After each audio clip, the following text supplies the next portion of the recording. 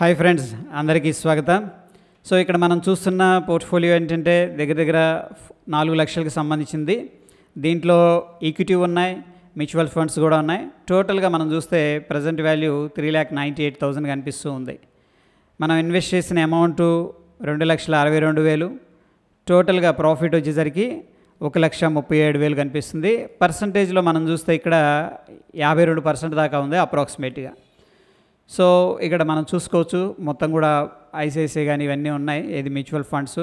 Only equity చూద్దాం ఈక్విటీలో ఎలా ఉందని చెప్పేసి. ఓన్లీ ఈక్విటీ సెలెక్ట్ చేస్తున్నాను.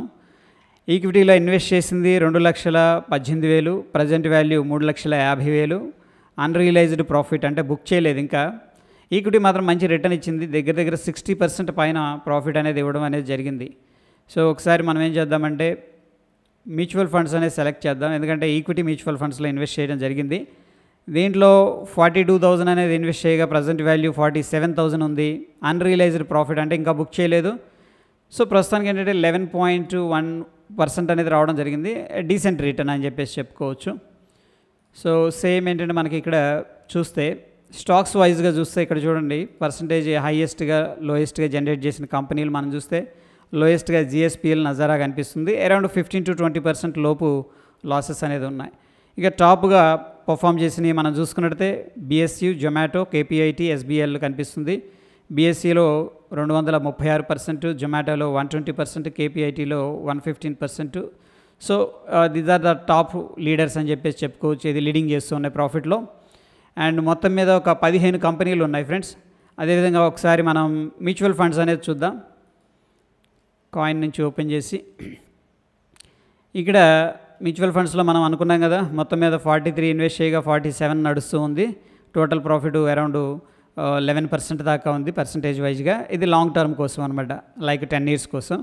దీంట్లో ఇన్వెస్ట్ చేసిన mutual funds చూసుకున్నట్టే UTI flexi cap fund.